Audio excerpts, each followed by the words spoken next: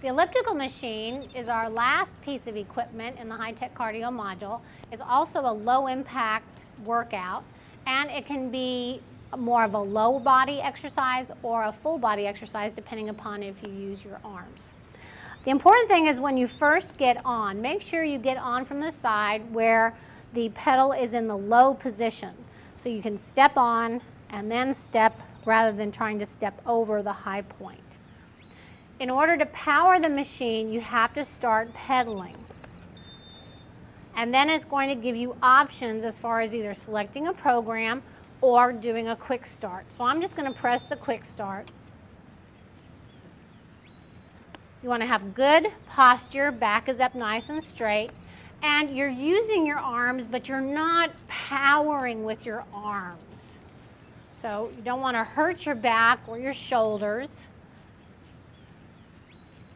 Now in order to change the resistance, even on the quick start, more of a manual program, I can just press the positive button to take the levels up higher.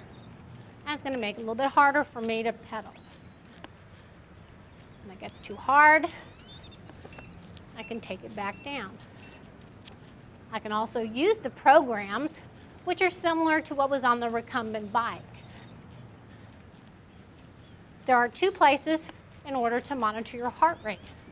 On the handles here, or if you're not using your arms, you're just holding the grips here, and you can also monitor the heart rate.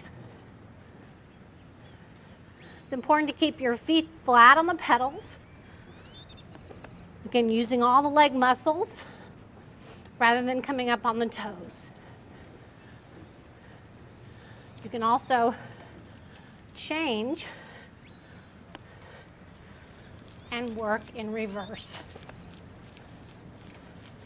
Just works the muscles a little differently.